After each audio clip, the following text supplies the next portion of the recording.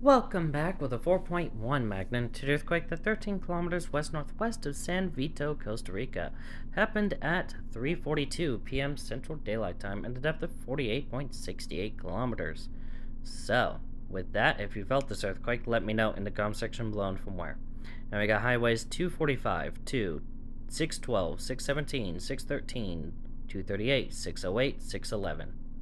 We got El Alto, Rio Cl Claro, Golfito, Playa Zancudo, Porto Jimenez, uh, Jimenez, Finca Catalina, Pavones, Laurel, Paso Canoa, Buenas, I want to say Buenas, no, Brenan, um, Agua Buena, Corridor District, Rio Sereno, Port, uh, Potero, uh, Potrero Grande, Florida, Buenos Aires, and Juarez, and Piedras Blancas, the Piedras Blancas National Park, and we also got Pavon Bay.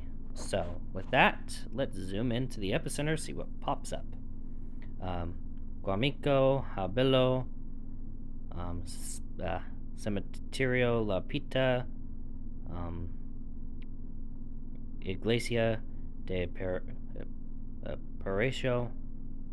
Uh, I want to say Paraíso's Paradise. I could be wrong. Um, but yeah, got some forest and some meadows here. So, with that, that's about it. Stay safe.